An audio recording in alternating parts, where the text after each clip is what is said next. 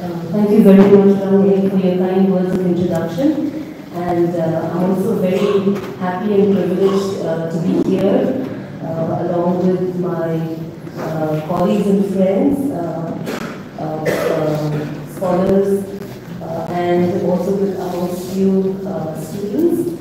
Um, yes, as Ramani has said, I've been here before, and uh, I always consider it a privilege to, to, to be speaking to uh, students in Mizoram, uh, especially because uh, I have never really taught here, and so it's always, uh, I find it a great opportunity whenever I, I am given the opportunity to come and speak. So, I mean, I think, I don't have much time, and I'm not going to spend too much time as well.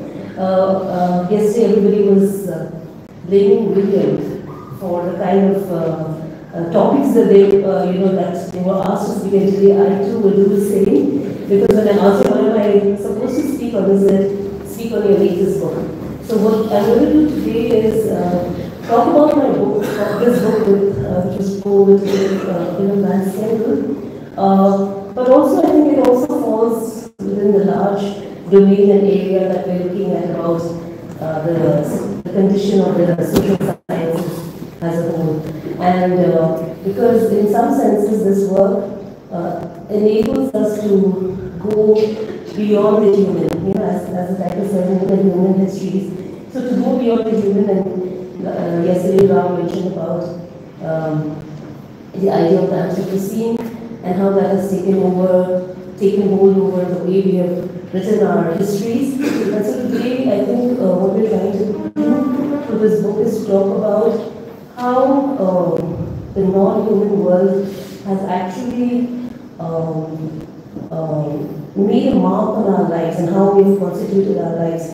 And this is especially relevant for uh, people from the Northeast because of the way uh, uh, we seem to be much closer to nature, seem to be, I would say, seem to be much closer to nature, but also I think um, at, um, at on various fronts, at various levels, uh, I think that uh, um, uh, being able to see our history through these interactions or through these entanglements with nature is important. Because in the writing of our history, I'm going to start off with trying to problematize the writing of our histories in Mizoram and in the Northeast, and then we want to talk about why it is important to talk about these entanglements and how that has constituted our history, and then try and see ways in our past about how these entanglements have worked out. Okay, so that's basically what I'm going to be trying to do today. So the first thing is, as you know, in the Northeast, history writing is all about identity. It's all about, say, the Mizo identity, or if you look Naga identity, and within that, the identity of uh, what you may call sub-tribes or tribes, depending on how you look at it, you know, whether it's the Ao Nagas, Angami Nagas, Mizos, and among Mizos, Maras, and, and many other groups. And, and this, um, as a result of this, uh, we are unable to look at our past as a past that has actually uh, uh, been developed as a result of interactions and uh, uh, communication with the wider. We are unable see our past as a constitution of historical contingencies. So we see our, our past as being something that is extremely static in some ways, that has not evolved, and uh, and we see our identity as being bounded by a territory. We consider the territory as a given. And I think there are lots of problems with writing history like that. At the same time, I know that in, in this day and age, especially in the context of Mizoram, there is this idea of a greater uh, Mizo identity or a greater, as I would say, Zo identity. Now, we have to see, and uh, yesterday Ram gave a very, very important lecture, especially for people from the Northeast, about how the chauvinism or nationalism uh, has contributed to, you know, and this it, it is so relevant for us here because the way we see our history as greater Mizoram, greater Mizoram, and if you trace these developments, you realize that, you know, the Mizo identity for some stretches right from the Naga hills, you know, from there to, to uh, the Chittagong Hill tribes. So this expansion of uh, the Mizo identity and try attempt at historicizing those identities, those are all extremely problematic. So I think what is very, very important is therefore to think of ways in which historical contingencies have, have developed, how history has evolved, the evolution of, uh, uh, of uh, various aspects of history is something that we need to bear in mind. So in many ways, you know, uh, what is important is to try and conceptualize space in a different manner, in a different manner. So, uh, so this is what this book Entangled uh, Lives attempts to do. So we conceptualize uh, space in a, in a different manner, so much so that we call region as the Eastern Himalayas, uh, sorry, Eastern Triangle, sorry, and we try to see it as an ecological space. Uh, not so much uh, a space that is bounded by, by political boundaries, but more or less as an ecological uh, space. Okay, so that is uh, our attempt here. So, um, I, so this is the basic region that we're going to be beyond the political boundaries as I mentioned, and I talk about uh, the kind, the entangled lives in this particular region, that is uh, the eastern Himalayas, that is bounded by these uh, eastern Himalayas in the north, the Indo, um, Indo-Arakan Yoma or the Indo Indo Burma uh, mountain ranges, and of course the Chittagong Hill tracts. That is the particular kind of uh, triangle that we are looking at.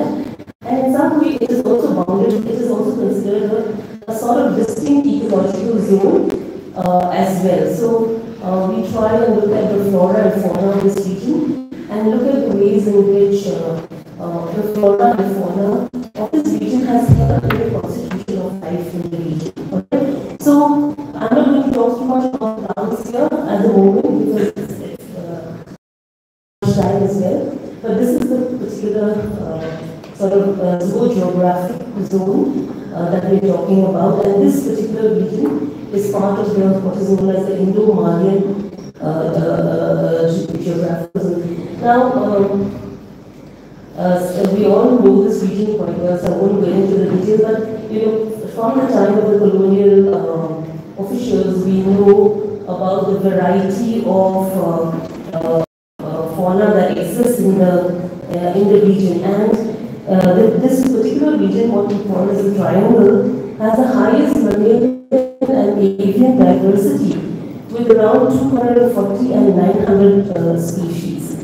Of course, at the same time, uh, many of them now fall under the endangered list, and uh, seven of the 11 mammals uh, listed as critically endangered from India are from the northeast. And uh, 57 vulnerable species of birds of the 57 vulnerable species of birds in India, 42 were recorded in the uh, triangle alone. So, uh, so we, we also must realize that increasingly this is this region is an endangered uh, endangered uh, zone. Now, um, this is a you know this was a picture that was taken in the late 19th uh, century, and it's that of a flying uh, very clear.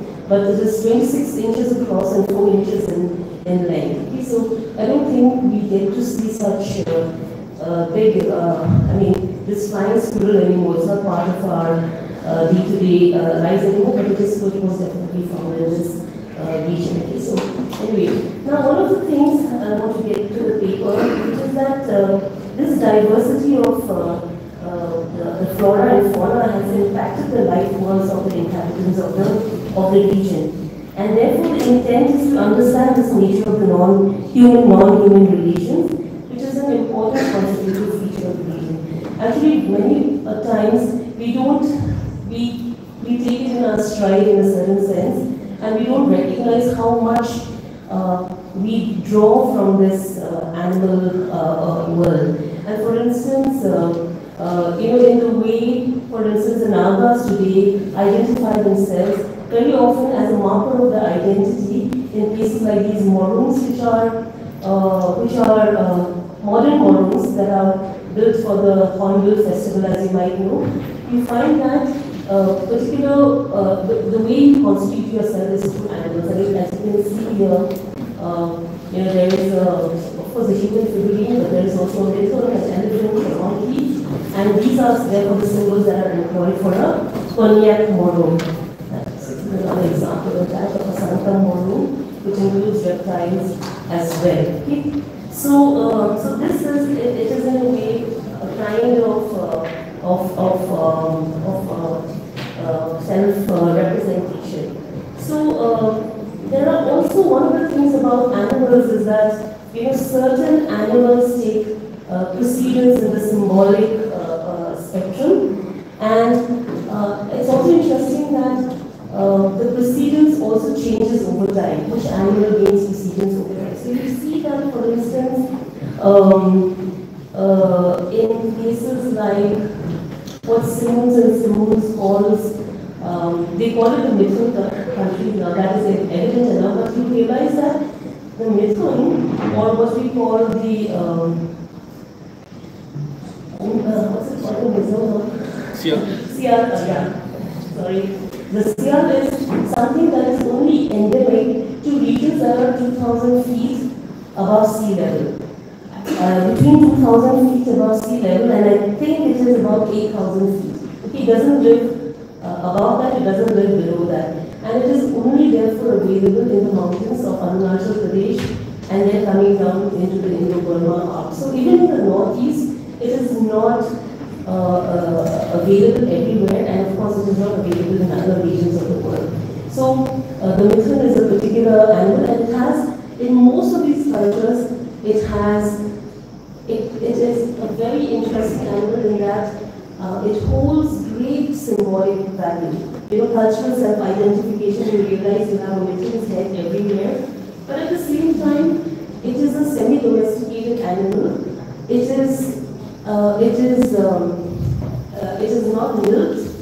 It is uh, it, it is only used for its meat, and that also not on an everyday basis. It's only used at times of festivals and rituals as well. So in many ways, uh, the, the is a very important animal for a particular region in the northeast. But then similarly, there are also animals like the snake, okay, reptiles like the snake, which are important in certain uh, cultures.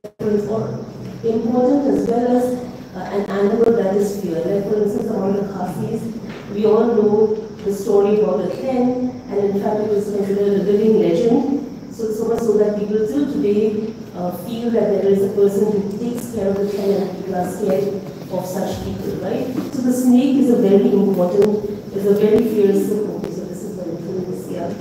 And, uh, uh, the, uh, and uh, so, uh, so, uh, so, yeah, the snake plays a very important role in the mythology of the of the Khasi, but also among the Meiteis, for instance, the Ningthoujas, one of the symbols, they were supposed to have uh, emerged from a snake, if I'm not mistaken, or they consider the snake an ancestor of sorts, and it is it forms part of the uh, symbolism of the Ningthouja uh, dynasty as well. So, uh, but then there is also an evolving uh, the importance of animals. Like for instance, uh, today Assam uh, is uh, is uh, sort of identified with the rhinoceros, right? It's identified with the rhinoceros, and if you so Assam oil, you have Assam tea. All of them will have a rhino as a, as a symbol. But this was not so in the past because in the past elephants were more important in Assam, and in fact you have treatises in the 18th century. There is a treatise uh, called the Hasti Vidya if I'm not mistaken, uh, written by Sukumar Barkath, that talks about how, uh, how elephants should be uh, reared and looked after and things like that. So you see, and then of course the Ahoms actually came with horses. So when the Ahoms came in the 12th, 13th century, they came with horses, but then these horses were given up. And then they took on elephants uh, uh, as because they were important in warfare. But in modern times, Assam is usually associated with rhinoceros. So you see that there are changing, evolving ways in which uh, uh, in which uh, humans have sort of identified with, with certain uh, animals. Now, the question is like, why therefore should we study uh, this entanglements with animals. And this is because I think I find uh, Brian Morris's work called Animals Ancestors and Ethnography a very, very uh, important uh, work. And he says that animals have always been an essential part of our history, culture, and existence. And um, ever since the appearance of modern humans and human culture, humans have always lived in close proximity to animals and have shared the same life worlds. So uh, human life has not been independent of animal world and in many ways the latter has also formed and made a society. So uh, according to him, Brian Morris that is, uh, the nature of this relationship is not complex, it is, uh, it is, it is not sim simple, it is complex, intimate, reciprocal, personal, and most importantly, crucially ambivalent. So I like what he said, that this relationship with animals is not always very uh, simple. Like for instance, I think the general understanding of ourselves as people of the Northeast is that we are meat eaters. Um, of late, Mizos, for instance, are dog lovers and cat lovers, and you know there are societies nowadays uh, that are extremely sort of uh, uh possessive about uh, taking or you know taking care of dogs and cats and pets and things like that. But generally we see as a sort of a meat-loving people, uh, and that is the idea that we have of ourselves and animals. But we realize that actually, if you think about it much more carefully, we have a very, very sort of intricate and complex understanding of of these of this animal world. Like for instance, why do we think it is necessary that at a Christmas feast we should sacrifice a beast or we should have at least you know, any any vein that is considered as a vein will want to have sial is, uh, if I'm not correct, if I'm not wrong, right? Most veins in Aizawl, for instance, want to slaughter a sial besides the cow or the pig or whatever. So uh, why do we consider that? Why do we have so much of sort of uh, thing about about this method? Okay, so that so there are things like that that we have to think about and we have to uh, consider. So, um, so I just want to in many ways, I'm, I'm just really uh, uh, rushing here, but I just want to trace the many ways in which uh, animals have sort of made up the life world of the people of uh, Northeast India. And uh, I'll give examples from among the Mizos and also amongst other communities as well. Now, one of the things about uh, the, the region is that in all our myths and origin stories, we have an animal. You know, we have an animal. Like for instance, in the case of Mizos, we have an earthworm, uh, which was involved in the creation of the mud. Okay, I don't know whether you know the story. We have an earthworm that is involved in the creation of the mud. Among the Garos, uh, it was a spider, uh, uh, and so there are many, many stories like that. Okay, I won't go into detail. The other thing is that many of us uh, have uh, considered animal as kin, as relatives. Okay, like for instance, uh, among the Angami Nagas, the, the tiger, the spirit, and the human were considered siblings. Okay, so the tiger, the spirit, and the human were considered as siblings. And then one day the mother said that uh, she was very angry at the way the tiger was eating its food. It didn't have table manners at all. So then she said that uh, uh, I'll throw a stick and whoever reaches that place first, uh, uh, they will stay at home and the one who reaches the place second will have to stay in the jungle. So the spirit and the, and the human uh, collaborated and so when the mother threw the, threw the stone, um, the spirit before the, the spirit before the human could reach said that I have reached. And so therefore, whereas the, the, the tiger could not speak out obviously, and so the tiger was uh, second in arriving at the spot. So therefore, as a result, the humans were sort of uh, uh, lords of the village or lord of the cult of culture, whereas the tiger is uh, lord of the jungle. Okay, so therefore they can come to have these kind of two positions. But what is interesting therefore is that such myths actually, we may consider them stories, but they were what is known as the palimpsest for action. That kind of a story made people have unique relationship with the tiger. So for instance, among the uh, meats, tiger meat is never eaten. Okay, tiger meat is never eaten because uh, the tiger is considered a sibling. Okay, so the tiger is considered a sibling. So you realize that these stories have uh, an impact on, have had an impact on the way people understood nature or related with, uh, with nature. Okay, so for instance, on the other hand, uh, uh, the Chang Nagas could eat the flesh of the leopard but not that of the tiger. Okay, so there, there were those kinds of differences as well. I won't get into great detail about it. So, um, the other thing, of course, is that um, uh, what is interesting is that all these animals also sort of uh, pretty, uh, had an impact on how uh, society was organized, Um, uh, whether in terms of gender relations, whether in terms of social hierarchy, uh, whether in terms of status as well. So for instance, uh, I'll give an example of, uh, like for instance, hunt. Hunting was considered a man's activity and hunting, like for instance amongst the Molo in Arunachal Pradesh, uh, you had to ask the forest spirit uh, uh, um, you had to ask the uh, forest spirit for permission in order to be able to hunt and once you had granted had permission you could hunt. But when you hunted the animals could not be given the same name as um, as uh, you know as what they were called in the city so the animals had to be addressed in a different sort of uh, name. Like uh, quite something quite similar is like for instance in Mizo, uh, you you would call it you call the tiger sakei, but you also call it sakwe. because you have a different name for the tiger. You call it sakwe. So similarly, uh, amongst the Molo in Arunachal Pradesh also you have similar kinds of. But what is interesting is that like uh, so women of course will not go for hunt, but in certain tribes in, in Nagaland, for instance, or around the women could not cook the meat of the, of the animals that was hunted.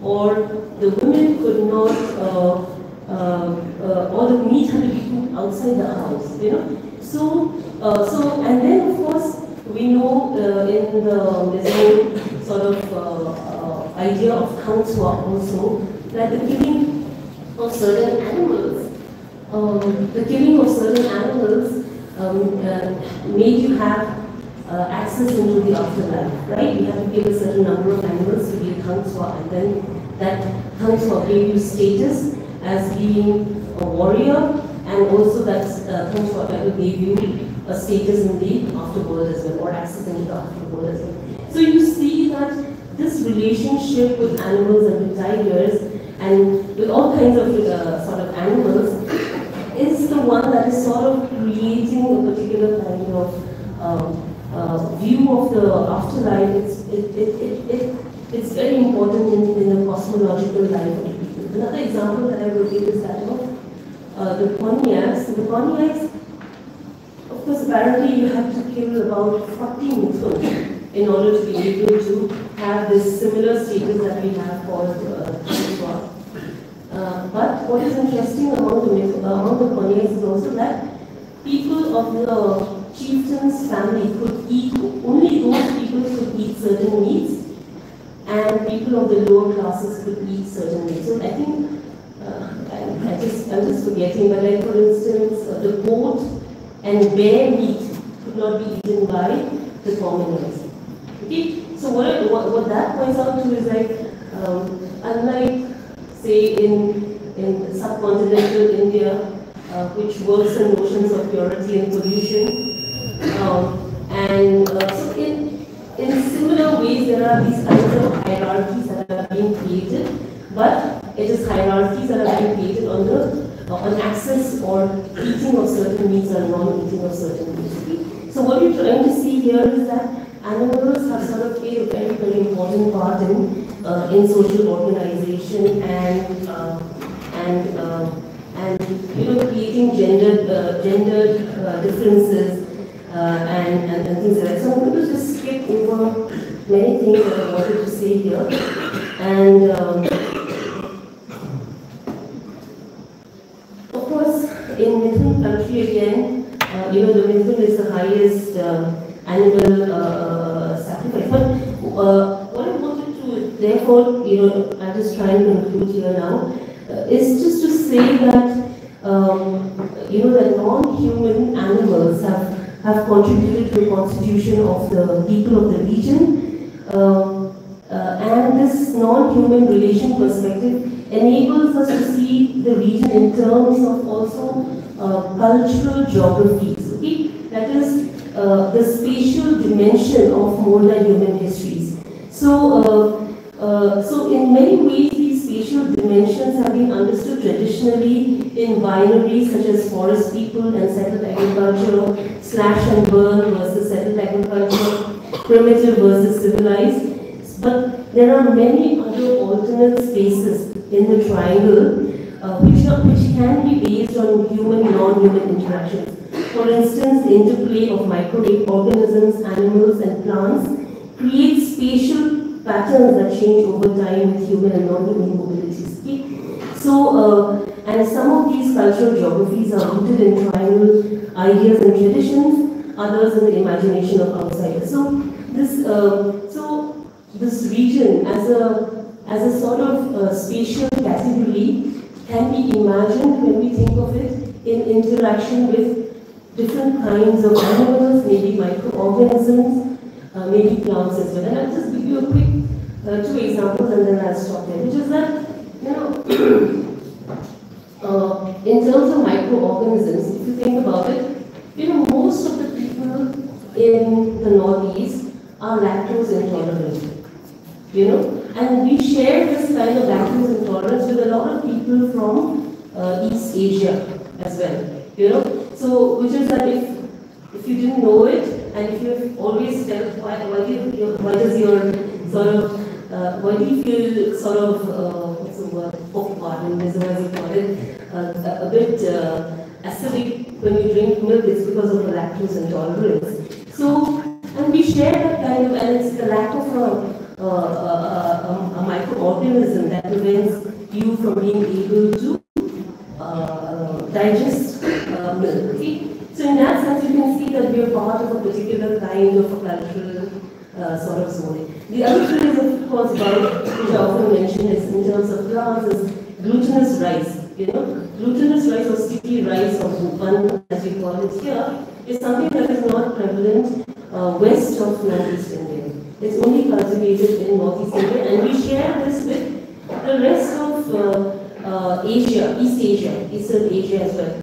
So in many, uh, so, uh, so if you think about this region in terms of these kinds of cultural spaces, you realize that we share uh, continuities with, uh, or spatial continuities with people from other regions or regions uh, in, in Asia as well. So I think um, I have a little, a lot more to say, but I think since we're running short of time, it's already 11.15, I will stop there. But I just want to conclude by saying that uh, uh, that we need to consider these kinds of entanglements that we've had, whether it is with plants or whether it is with animals in our history. We have to consider the evolving nature of these entanglements. And these entanglements enable us to see space in different ways. Uh, we, we move beyond our political boundaries. We move beyond our uh, like preconceived notions of difference across boundaries and we're able to see spatial continuities uh, based on these kinds of uh, interactions that we've had. So I'll stop here and maybe when we have questions we can, uh, we can deal with them later. So thank you very much.